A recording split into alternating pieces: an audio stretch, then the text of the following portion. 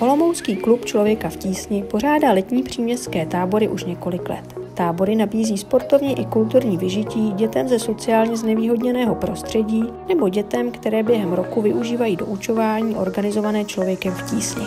Letos se do skupiny přidali také děti z Ukrajiny. Tady jsme na adrese Litovelská 14 v Olomouci před klubem Člověka v tísni. To je nové komunitní centrum, které bylo otevřené v srpnu.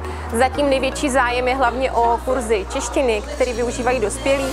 U toho mají zajištěné hlídání dětí, protože po tom hlídání je tady největší poptávka. Hodně to zatím funguje na bázi dobrovolnictví, takže dobrovolníci hlídají děti a mezi tím eh, rodiče, maminky teda hlavně si můžou učit češtinu a pro děti je zase zajištěný jiný program.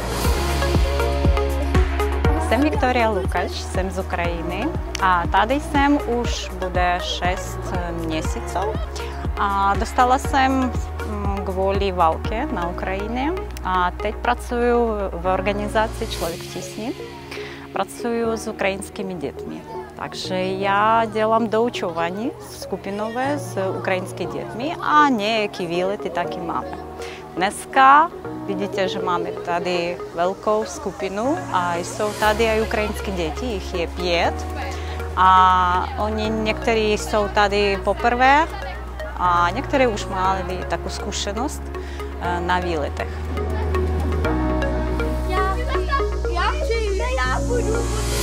Мене звати Карина, мені 10 років. Мене звати Маша, мені 10 років.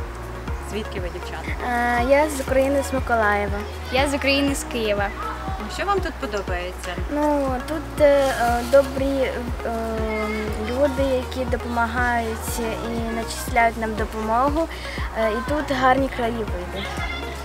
Е, Мені дуже тут подобається, тому що тут е, дуже багато зелені, тут дуже привітні люди. е, І тут дуже весело завжди. Když se nám tady objevila ukrajinská komunita, tak jsme od začátku věděli, že chceme přizvat k tomu, co už děláme. A od začátku jsme věděli, že nechceme dělat něco speciálního, kde by prostě byly oddělené ukrajinské děti. Takže klasické volnočasovky, které pořádáme každý léto pro děti ze všech našich služeb, to znamená eh, pro děti, které jsou v podpoře vzdělávání, doučovaní, se kterými se spolupracuje s rodinama nad různýma dluhovýma a jinýma sociálně aktivizačníma prácema, tak jsme prostě do toho zahrnuli teď i spolupráci s ukrajinskými rodinami, takže tady máme i český i ukrajinský děti.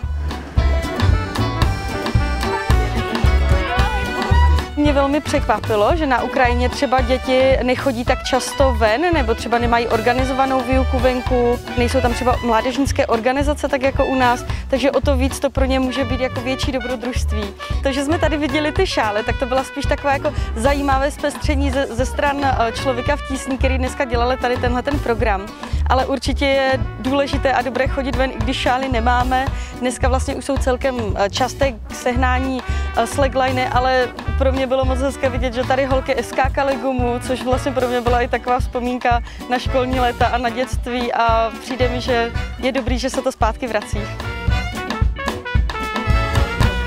Určitě je potřeba se nebát toho, že vlastně český a ukrajinský děti budou spolu na jednom place. Je dobrý, že jsou tady propojení a nebala bych se toho eh, ty děti opravdu pustit ven a tu možnost k tomu pohybu jim dát, protože si myslím, že v dnešní době je to ještě mnohem důležitější než kdy předtím. Pohyb nám působí proti různým uh, smutkům, depresím a tady v praxi to jde vidět, protože tady bylo spoustu smíchu a ty děti působí šťastně.